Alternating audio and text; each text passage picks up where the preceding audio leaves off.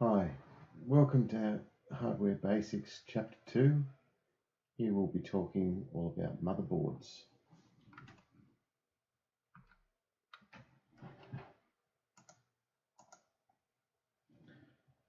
Okay, so in this session we're going to describe and uh, contrast various types and features of motherboards. Uh, we're going to configure a motherboard using BIOS or UEFI. So BIOS is Basic Input Output System. And the newer version with better security is UEFI, which is Unified Extensible Firmware Interface. Okay, so by this time, week four, you should have been reading a fair bit. If you haven't, you have a lot to catch up on. It's very important that you keep up with the reading so you're on track.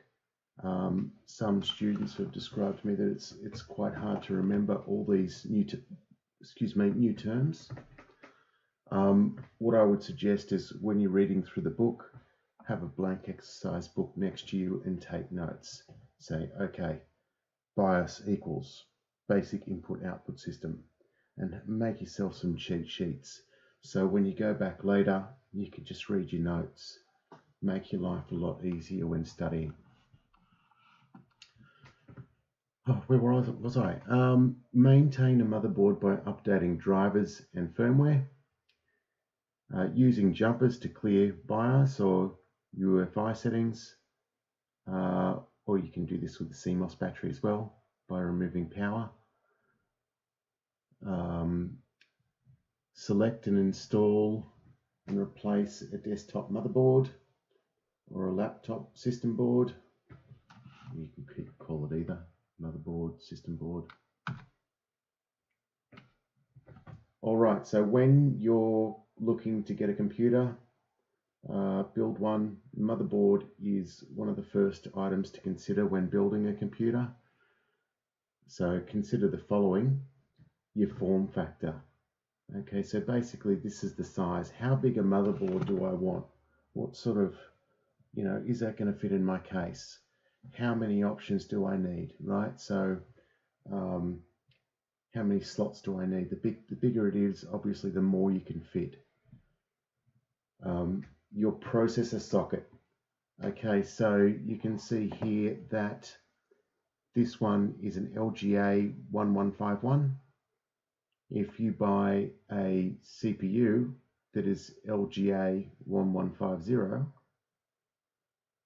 then that's not going to be compatible.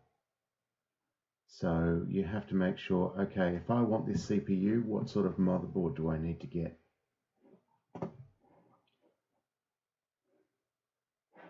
and the chipset. And we'll talk about that later. Um, expansion slots.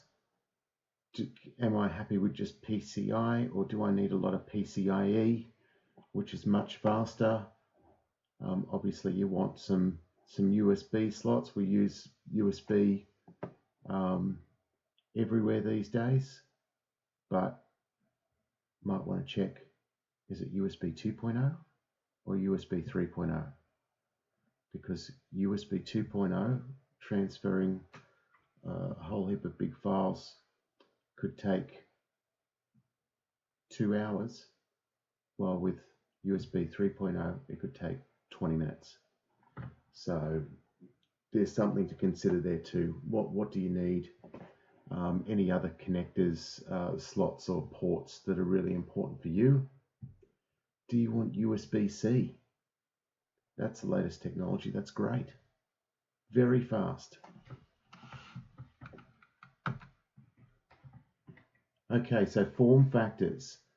The, the most popular, you've got your ATX, which is your largest, your micro ATX, which we will place in the middle there, and mini ITX. Okay, as you can see, how many slots you have and how many ports you can have and all these bits and pieces. Look, all these ones for your SATA hard drives. You don't have as much over here. So, moving forward, they have set standards with um, places for your screw your screw holes there um, to put them into place. Okay, so everyone will be able to fit them into their casing there. So a chipset is a chip is a set of chips, okay, on the motherboard that works closely with the processor to control memory buses on the motherboard and some per peripherals. Okay, so think of a chipset like a, um, a, all right, so chips were all over the motherboard before, and then they centralized them to make them a chipset.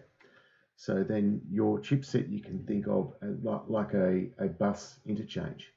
Okay, all the information goes into the chipset is, is sent somewhere else along a bus. So it's very very important for. Oh, I've just powered up. Uh, sorry about that. A socket is a is rectangular with pins or pads that connect to the processor on the motherboard. And the, the two major chipset and processor, processor manufacturers are Intel and AMD. All right, let's talk about um, Intel chipsets. So your latest um, Intel chipset is Comet Lake. Uh, before that, it was Coffee Lake, Kaby Lake, Skylake. So these these um, relate to all your different um, generations. Uh, how you can tell which one is what generation. There's a number here, right there. So i5 6200 is a sixth generation processor. Now this 200 part here is how good that will be. The higher the number, the better.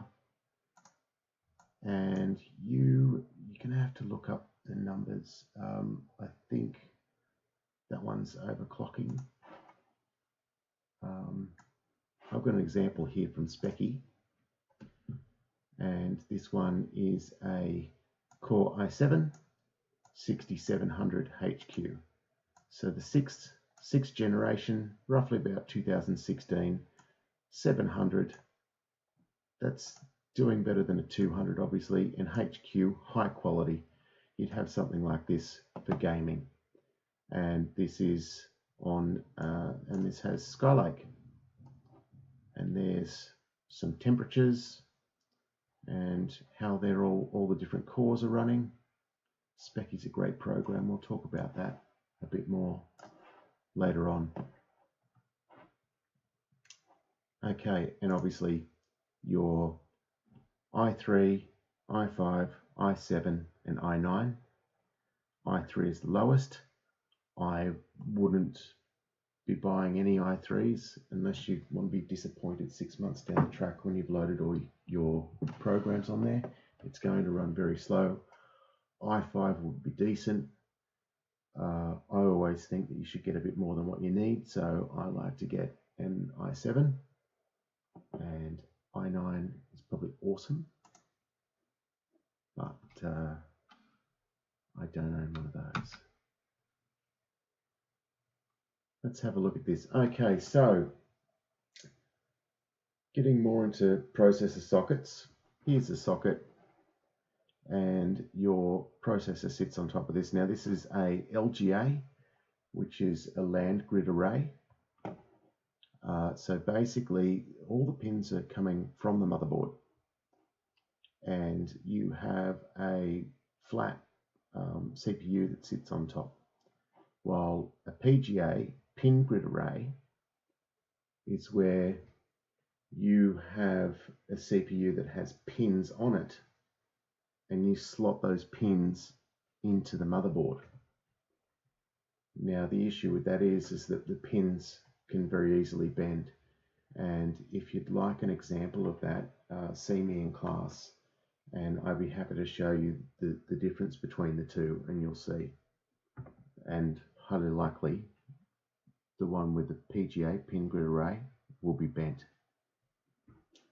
Okay, and it's uh, 1151 socket in this one.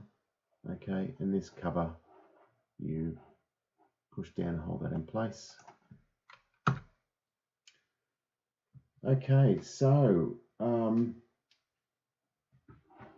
let's talk about the LGA sockets.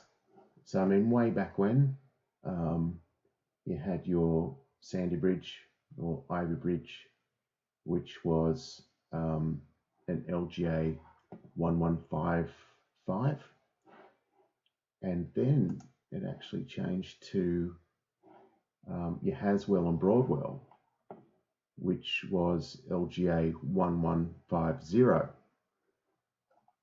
And then we moved up to uh, LGA 1151.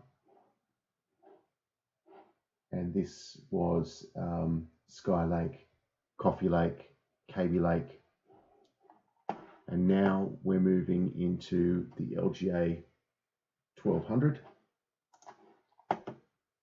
which is uh, Comet Lake. And I don't want to talk about this, the 1700 at this stage, but obviously with your different um,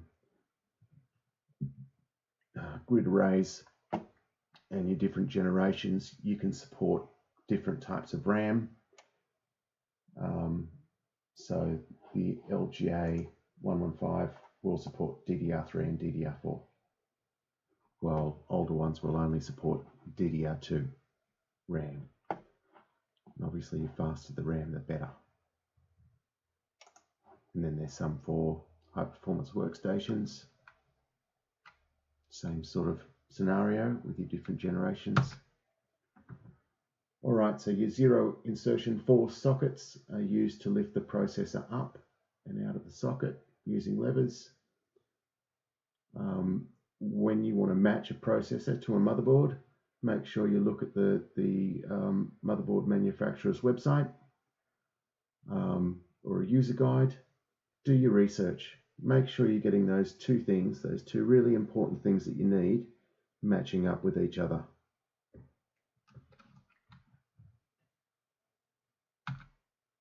And don't go cheap on those either.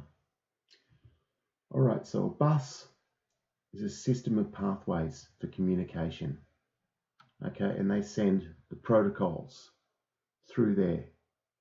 Right, the protocols is a set of rules and standards for two entities to use for communication. So if I'm speaking to someone in Japan or the Philippines, if they're speaking their native language, if they're speaking Japanese or they're speaking Tagalog, I'm not going to understand what's going on. But if they're speaking English, then we can effectively communicate.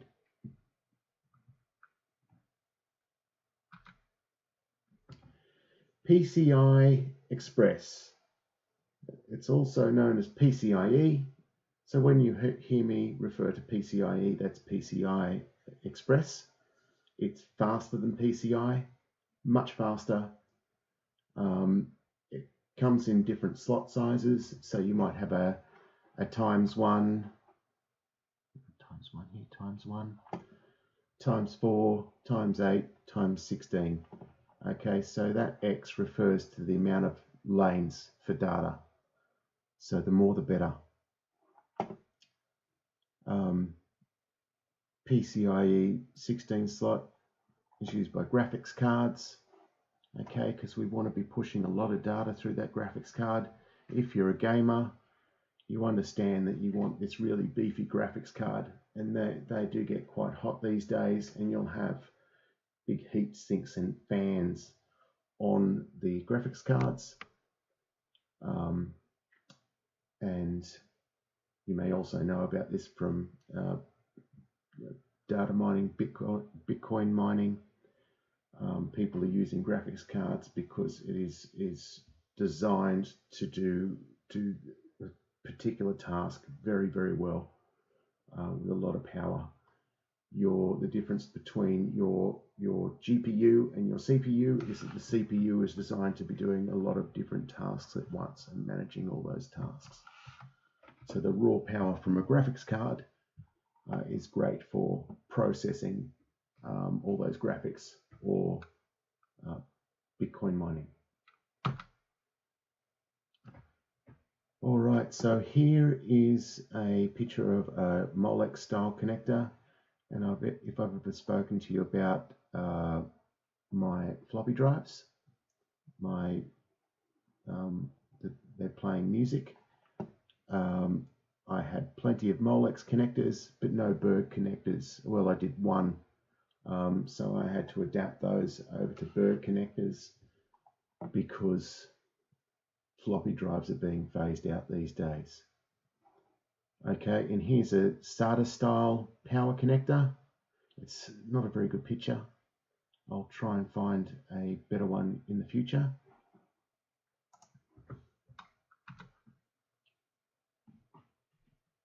Okay, conventional PCI slots and buses are slower than those of PCIe. Absolutely, that's what the Express stands for. Um, the slots are slightly taller than PCIe slots, transmits 32 bits of data in parallel and operates about 500 megabits a second. Um, used for all types of add-on cards. A riser card. Okay, so if you have a, a low profile, slimline, small form factor um, case right? And you can't fit a particular card upright, but you'd be able to fit it sideways.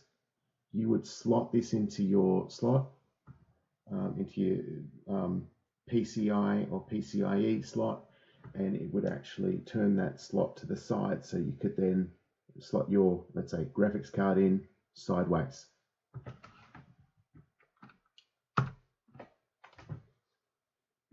Onboard ports. Okay, so back in the day, you used to have um, just one connector built onto the motherboard. And I can show you an example of that. Um, and then if you wanted some, um, some sound ports, you would have to actually install a card for sound ports. And you would have to install a card for serial port or a card for a parallel port, and then later on a card for a USB port. And there, there was all these um, cards, and you only had a certain amount of card slots. So later on, they uh, integrated all of these ports onto the motherboard, um, so you have all that available for you already. See your um, Ethernet port PS2, um, PS2, not PlayStation 2. It's actually a, a type of um, keyboard or mouse port um, that was used before we moved into USB. We had lots of different ports for all sorts of things, and, and um, someone said, Hey, how about we just use one type for everything? Just make it universal instead of having different ones for different brands, let's have something that everybody can use across all the brands. So USB Universal Serial Bus was born. Okay, um, in, I/O shield, input output shield, um, is a plate installed uh, in the computer case, providing holes for those input output ports. These things they're all sending data in and out. Um, and then you've got internal connectors for USB, M.2, and we'll get into that later. Great technology. Um, and IDE. Um, and IDE is very, very old. Um, it's called integrated uh, drive electronics It's used a long time ago. Um, unless you're playing with some really old equipment, you, you're not likely to see it. Uh, input output shield. Um, is pre-installed in computer case providing holes. Um, it shields those ports against melee attacks and also magical attacks. Just kidding. I'm just seeing if you're still paying attention. I shouldn't say stuff like that. People believe it. You know, I've had people say to me, I show them a floppy drive and they go, wow, you pre you 3D printed a, a save icon. Um, no, but you're scaring me. okay, your yep, your internal connectors, USB, M.2, SATA, IDE. SATA stands for Serial Advanced Technology Attachment or Serial ATA, um, as opposed to PATA, which is your old school parallel, parallel type, um, way back when. Current versions of SATA, I, SATA Express. Okay, so we had we had SATA, SATA 2, SATA 3. Um, SSDs were um, increasing in speed at, at ridiculous rates, and SATA could not keep up with the speed that SS, SSDs, solid state drives, were moving forward. So they came out with SATA Express. Um, but around the same time, M.2 came in. And so SATA E is pretty much a failed, um, you know, it was one of those ones everybody's experimenting at the same time and not some of them don't make it and that one didn't really make it you would be lucky to um, to get that m.2 is so much faster so much more efficient um, it was formerly known as the next generation form factor m.2 is less of a mouthful um, it uses PCIe um, it can use uh, USB or SATA interface. Obviously, it gets uh, slower if it's using SATA, but M.2, the PCIe, beautiful. That's what we're running on our SSDs today.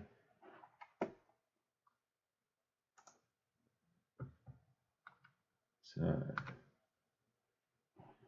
here's your M.2 slot here. So unlike RAM, where your RAM stands up uh, vertically, in its slot, the M.2 um, lies horizontal and then it's actually held down by a screw.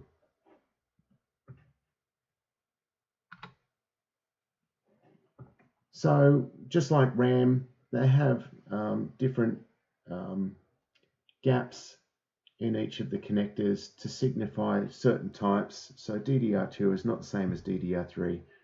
Same with your um, M.2. Your, your B key is in a different spot to your M key and they have different lanes, two lanes versus four lanes on your PCIe and uh, 10 megabits, no, 10, sorry, gigabits versus 20 gigabits.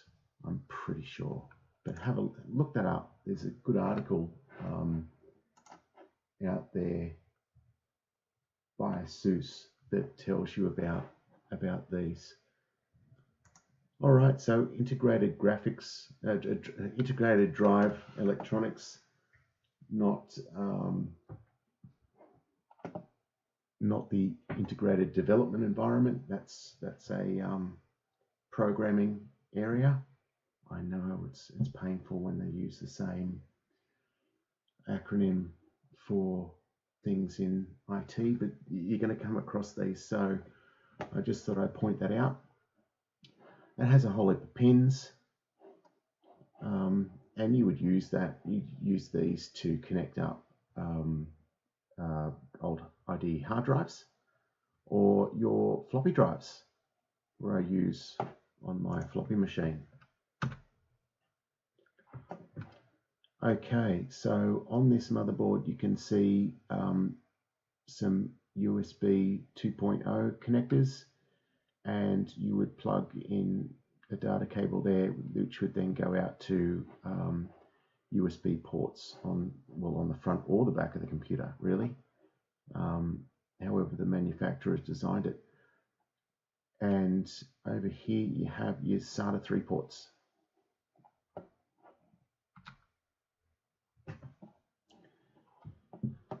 Firmware on the motherboard is used to enable or disable a connector, a port, or a component. You want to switch something off. You want to turn off the, the built-in um, um, network card or you know you want to turn off USB ports so no one can use the USB ports or whatever you need to do for your um, security concerns. Um, they obviously didn't do that where Snowden was. Whoops. Uh, anyway, um, control the frequency um, and other features of a CPU. So overclocking your CPU, making it run faster than what the, the, the manufacturer recommends. If you're doing that, you put a bigger heatsink and a bigger fan on there, or you might consider some liquid cooling. I'm not really a fan of liquid cooling, but um, just mucking around with liquid near a near circuitry worries me. Um, managing security features. So um, in your BIOS, are you setting up a password to get into BIOS or to access a drive or to um, look, e even some have the option where you can switch over whether the case can be opened or not. So there will be a little motor that will move a pin and it'll slot through a hole and it will stop you from removing a, a motherboard case, the, the, the, the, cover on the case for your um, computer. So that's a cool feature. If you want me to point that out in class, let me know. Um, control what happens when the when the computer first boots. Um, monitor any issues. You can monitor whether the case has been opened. So let's say you don't want to lock the case, but you want to know when someone's been playing inside. Certainly can set that up too. Um, so after 2012, BIOS and UEFI, UEFI firmware was used. Before 2012, motherboards used BIOS. And again, UEFI stands for Unified Extensible Firmware Interface and improves on BIOS, um, but includes BIOS backward compatibility. And we'll talk about that a little bit later. UEFI is required for hard drives larger than two terabytes. Okay, um, UEFI offers secure boot. So this is going to stop um, drivers loading that are not digitally signed. Um, and this makes sure that you're not getting malware um, coming in and um, loading before the operating system um, loads. Okay. Um, for backward compatibility, UEFI can boot from a master boot record hard drive and provide BIOS boot through its compatibility support module CSM feature. Accessing the BIOS, check the manufacturer's manual. It could be F12, it could be F2, it could be Del, it could be F10. Um, so you'd have to look into that before trying to go into BIOS or randomly try things and see what happens. Here is a picture of BIOS. Okay, it's very plain. Um, and then you see UEFI, which could have some little graphics and some um, gauges and all sorts of things in there.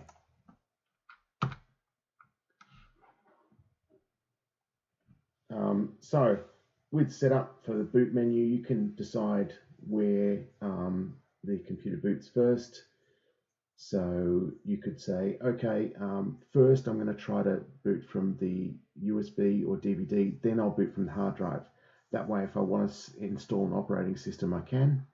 You could boot from the network. Okay, so that's where we get our imaging menu. and you can choose to boot from the hard drive or you can image um, your machine. Okay, so you set this via a boot priority order or a boot sequence, whatever it's called in your BIOS slash UEFI.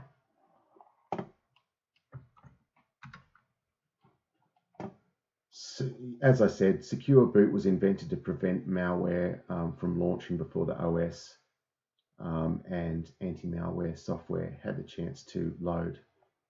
Um, it only works in UEFI. It doesn't work in your compatibility mode for BIOS. Um, supported by Windows 8 and, and 10 um, and several distributions of Linux. Secure Boot holds digital signatures, um, encryption, encryption keys, and drivers in databases. They might be stored on flash memory or in uh, on the on the motherboard or on the hard drive. Um, it checks all these things before they load to ensure that things are secured. Um, so you've got lots of options to change um, your boot options. I encourage you to have a look through BIOS or UEFI. Uh, don't play around with it in your personal computer, but you're welcome to play around with it with ours. Uh, break our computers, not yours. All right, so I've already, I've already spoken about this. You can disable some things through BIOS, network ports, USB ports, video ports. Um, you can overclock the, the processor, make things go faster. Obviously, overclocking will make everything hotter. Other security features, um, besides the secure boot, I've already talked about power on passwords. LoJack is for um, it's it's like Find My iPhone for laptops. Um, drive password protection. Your uh, TPM chip, which is your trusted platform module chip, and any drive encryption that you may want to place on there. The power on passwords it is what it sounds like. When you power up, you'll need to enter a password. LoJack, so um, a Computrace agent technology are embedded in the firmware of many laptops, protect against theft. Okay, you must subscribe for this service, so you're paying for it. Um, and um, you can locate a laptop whenever it connects to the internet. Once located, you can give commands through the internet to lock the laptop or delete all data on it. Um, and you can set drive password protection. Some motherboards allow you to do this.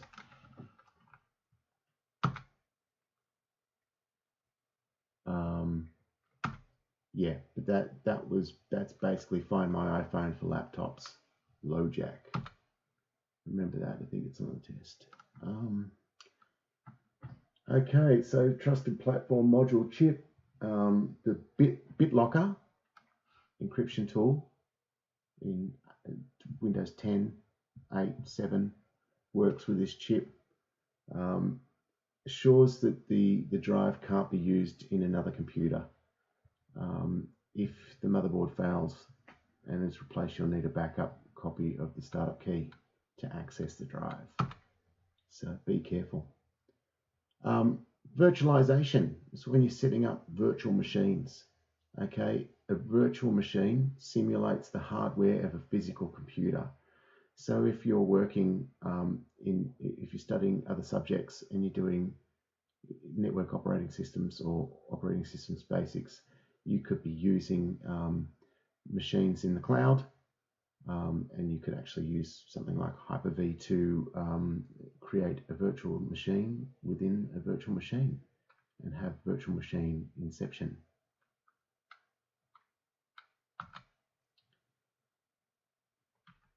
Oh. Also, if you're using something like Speccy, oops, Speccy, if you use it on the virtual machine, you're probably going to be missing certain amounts of data. So if you need to do something like that for OpSys, um, you specking on your own computer. It's not going to hurt. Um, it's a cool little tool. Device drivers are small programs that allow software interact with certain hardware. Okay, so that's in between there. Um, so you can install drivers for your graphics card or ports um, or any any other sort of things that you might need to set up.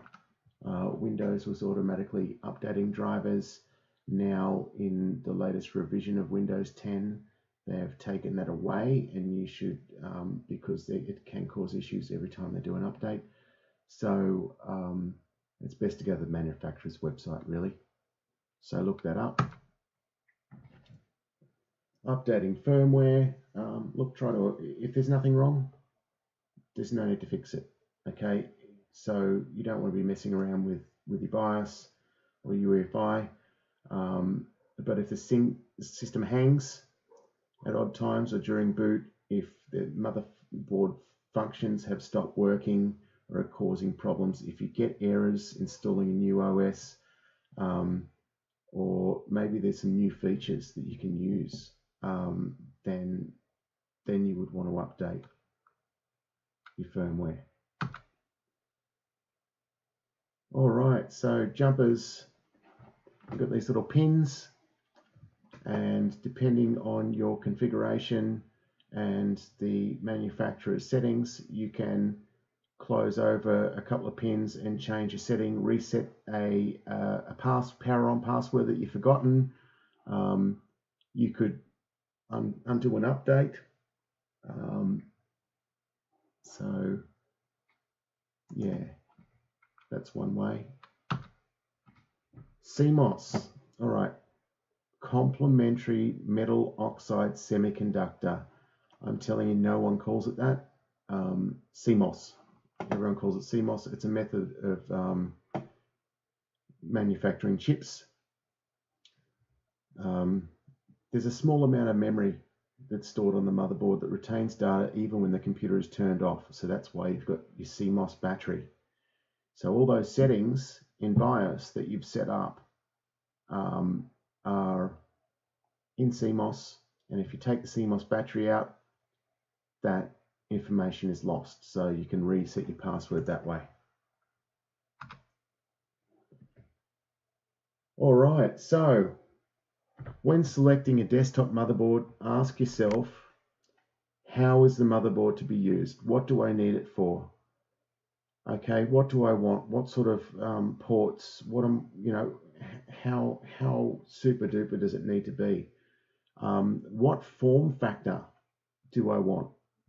Okay, what size? We talked about the, the sizes before. Is it ATX? Is it micro ATX? Is it MITX? What are we looking for there? Um, which brand? Do you, are you team Intel or you team AMD? Okay, and um, what sort of processors do the, does the board support? What chipset does it use? Um, so that's really important. So do your research before you before you look into it, and also what type and speed of memory does the board support? Oh, you know, if, if you've got something that does DDR2 memory, yes, but DDR2 or DDR3, they have, so DDR2 will have different speeds, and then DDR3 will have different speeds, and DDR4 will have different speeds. So what is the specific speed that you can run? On that motherboard. All right, um, what are the embedded expansion slots? What are the connectors? Uh, what devices are on board? Do you have a graphics card on board or do you need to plug a graphics card into the board? Okay. Um, does the board fit the case you plan to use? That's the size, really. Um, um, What's the price and the warranty on the board? Does the board get good reviews? Check it out. This, you know, Z490, whatever, whatever, whatever you've got, whatever you're looking for, review. Okay, how extensive and user friendly is the documentation and how helpful is the manufacturer's website? Um, you know, what warranty do you get? How much support do you get? Very important. So, um, replacing a laptop top motherboard. Look, if it's if it's um, this is the last slide. If you have a laptop motherboard and your laptop has I mean look if it's if it's very new it'd be worth the money to to um, change it but you should be under warranty if it's very new. So if it's within within two years and you've got warranty it should just be replaced by the manufacturer. And I'm sure you wouldn't mind paying the postage to get it um, done if that's their requirement. I'm not sure what their um, what their terms are on their warranties um, but that would be very little to pay compared to paying for a new motherboard. Um, but if it's an older, um, if it's an older laptop and you have motherboard issues, then it becomes a expensive paperweight or frisbee pretty much because the amount of money that you would spend to replace the motherboard would be money that would be better invested in buying a new laptop. All right, so there's just chapter summary really. So I hope you enjoyed this week's lesson on um, motherboards, hardware, hardware basics. Until next time, take care.